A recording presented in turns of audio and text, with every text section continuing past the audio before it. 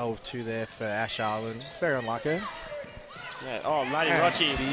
Clean strip there. Takes it the other way. And it's an easy two. Ivy Cabello drives And- in. Oh, that's a good dive on the floor. Matty Rocci, it takes it on the break again to Cam Cam Hughes. Hughes. Easy layup. Swings it Esther Fleming inside Ash. Oh, and it's a tries to kick Matty. deflection. Abby Cabillo again. And it's a big block block, by Matty Rocci. They're looking for Matty Rocci here, and that's a good fake. She comes around. Kicks it Zoe Campbell on the short corner, and that's And good. that's good. Maddie's got the active hands, and she takes it Oh from my her. Goodness.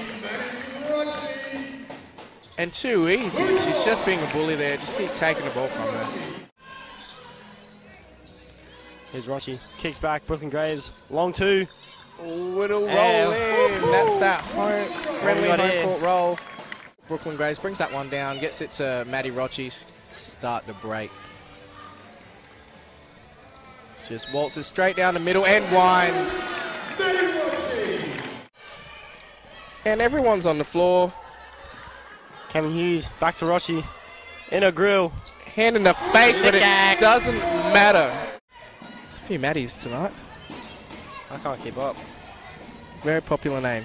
And that one just drizzles in and she trips over the sponsorship sign and work from there. But they need the inside out. Get her going. Because once she's going, then, you know, it's, it spreads and Matty stretches Rocci the team. inside, left hand lay, and that's, that's clean. Delay. The float goat.